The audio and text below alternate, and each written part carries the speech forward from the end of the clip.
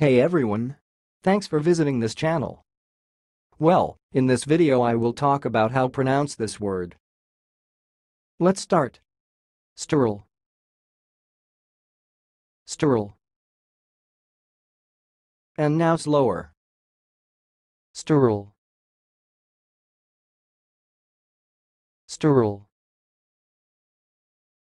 That's all, thanks for watching. If you liked this video, please subscribe to my channel. If you want to share your opinion, please leave comment for this video. Thanks and goodbye.